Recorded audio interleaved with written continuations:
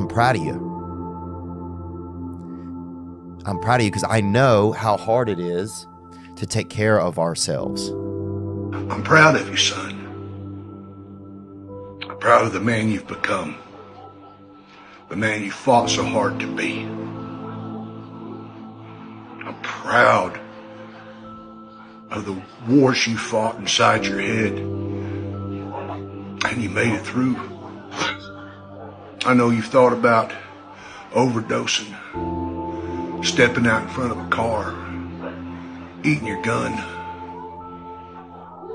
I know. Trust me, brother, I know. But I want you to know that you're a man. And I love you. And I'm proud of you. And you don't have to give up. Keep it up. You got this, son. You really do. And you're going to be a better man than I could ever hope to be. I'm proud of you.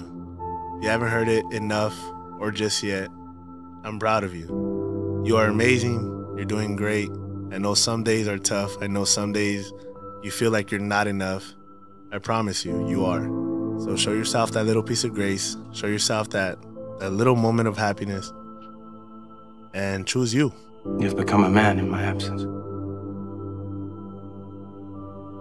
I'm proud of you.